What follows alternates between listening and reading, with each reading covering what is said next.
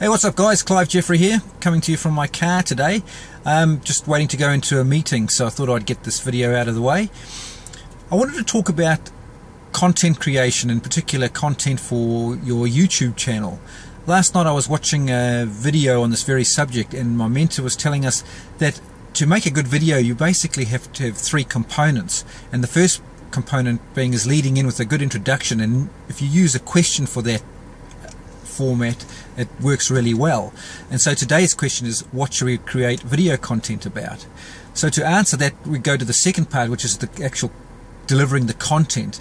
And the things discussed were sharing what you're learning each day. And you should be, as a marketer, learning new tips and tricks that you can share with your team and that's exactly what I'm going to do here so the the format for a good video is as I started out saying is you need an introduction as part one and the second component is the body of the video where you deliver the, the solution to the issue. And thirdly is the call to action.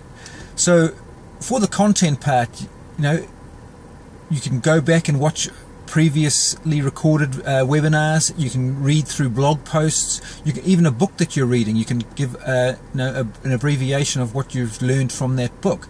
So it's very simple to get new content on a daily basis. And you always got to realize that there's everyone else is not watching and reading what you are, so you're always going to be able to offer some sort of value to them.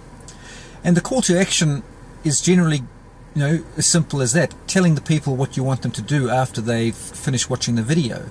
So my call to action is come and see me at clivejeffrey.com where I share other tips and tricks on a daily basis. So I really look forward to seeing you there. And thanks very much for watching this video.